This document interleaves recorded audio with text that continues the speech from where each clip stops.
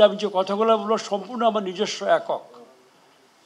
একক আমি রাজনীতি করি অ্যাবসলিউটলি ফুললি হোল টাইম এবং আমি বিশ্বাস করি রাজনীতি করি। আমি যখনই যাই, আমার গ্রামের লোকেরা, আমার ভোটার আমার কাছে কি চায়?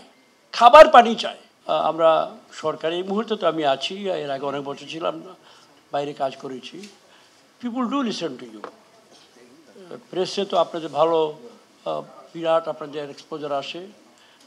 লোকজনের পড়ে কোট করে।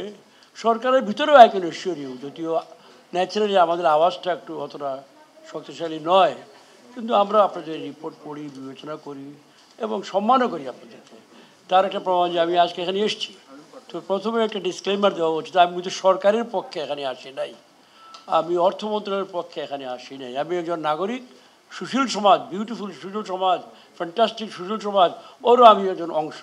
এবং আমি এখানে বসছি সেই হিসাবে অংশ এইটা আমার প্রাইড তো যেটা বলা উচিত যে আমি যে কথাগুলো বলব সম্পূর্ণ আমার নিজস্ব একক। একক আমি রাজনীতি করি অ্যাবসলিউটলি ফুললি হোল টাইম এবং আমি বিশ্বাস করি রাজনীতি করি।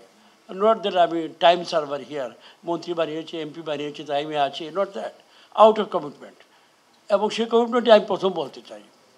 আমি মনে করি এখানে ভয়ঙ্কর মিসম্যাচ আছে আমাদের এখানে সিভিল সোসাইটির রিকোয়ারমেন্টস অথবা even think tank like CPD requirements যেগুলো আপনারা এখানে তুলে ধরেন বিভিন্ন আলোচনায় অত্যন্ত সঙ্গতভাবে, এগুলা এবং বাংলাদেশের মানুষের প্রকৃত প্রয়োজন যেগুলা আমি একজন তার ক্ষুদ্র অংশীদার হিসাবে আমি মাঠে গিয়ে বসে তাদের প্রতিনিধিত্ব করে দেখছি, শিখছি, এখানে মিসম্যাচ আছে সিরিয়াস মিসম্যাচ আছে।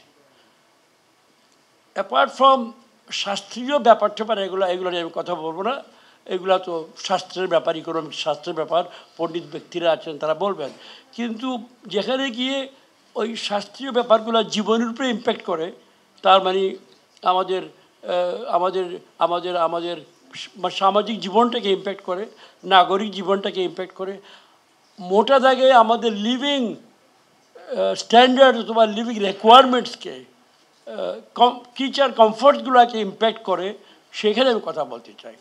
আমি একটি গ্রামীণ এলাকা রিপ্রেজেন্ট করি for the last fifteen years একটা না হাওয়ারে এবং আমি মনে করি, আমার ক্ষুদ্র ইকোনমিক্স নলেজে এমন একটা সিট রিপ্রেজেন্ট করি, যেটা একটাকে আপনি গ্রামীণ সমাজের একটা কি বলব, এবং সেখানকার যে রিকোয়ারমেন্টসগুলা ডিমান্ডসগুলা তার সঙ্গে আপনাদের অনেকের যে রেজড যে পারসিভ ডিমান্ড তার সঙ্গে একটা বেশ কম আছে। আমি ভেরি সরি আমি যখনই যাই, আমার গ্রামের লোকেরা, আমার ভোটার আমার কাছে কি চায়? খাবার পানি চায়। পরিষ্কার খাবার পানি চায়, বেটার টিউবওয়েল চায়, স্কুল বিল্ডিং চায়, তার গ্রামে যাওয়ার একটা কালভার চায়, একটা ভাতা কার্ড চায়, পাঁচশো বা সাতশো টাকার হোক।